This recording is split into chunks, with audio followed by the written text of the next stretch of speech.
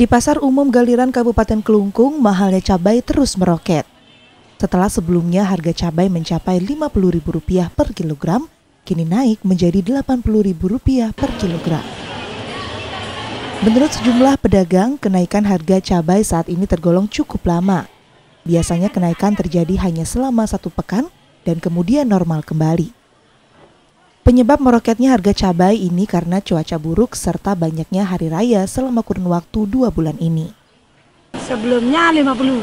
Hmm, itu udah paling mahal biasanya. Paling ya? mahal. Ini eh, kondisi ini apa penyebabnya? Kondisi karena cabai banyak busuk, Hmm, banyak busuk ya. Berarti di petani berarti gagal panen gitu ya? gagal panen. Imbas dari mahalnya cabai ini, pedagang harus berebut mendapatkan pasokan dari pengepul yang mendapat cabai dari Jawa dan daerah Lombok NTB. Meski mengalami kenaikan, namun daya beli masyarakat terhadap cabai masih tinggi. Dikit datangnya, Sedikit ya. iya. Hmm. Karena kasih- dapat dari mana nih? Ki? dikit eh, dari luar. Dari luar. Sehari berapa biasanya dapat jualan Bu dengan kondisi mahal nih? Oh, ini dapat 2 juta sekian. Lumayan juga nih. Iya.